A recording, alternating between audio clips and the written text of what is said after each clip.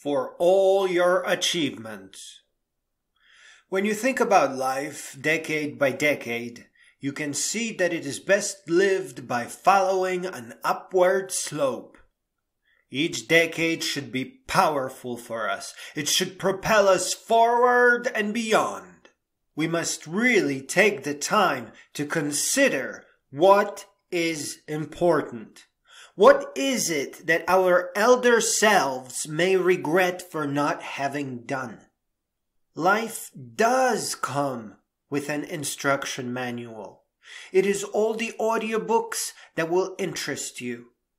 From memoirs to adventure and science, and also reading in between the lines.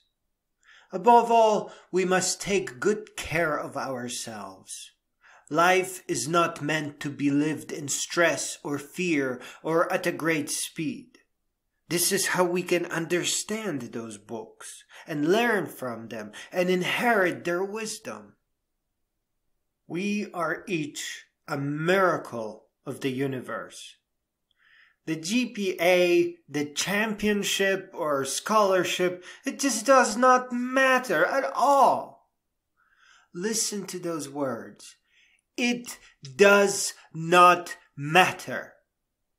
Because you are already more than any of that made up stuff. It is not the brand of education that matters. What matters is that your education brought you wisdom. With wisdom, if you still need to, you will build your own firm or company or school. Pursuit of wisdom guarantees that as each decade passes, you will grow in greatness. With wisdom and the transcendence of limits it entails, come our golden age, we will become far more than we thought possible.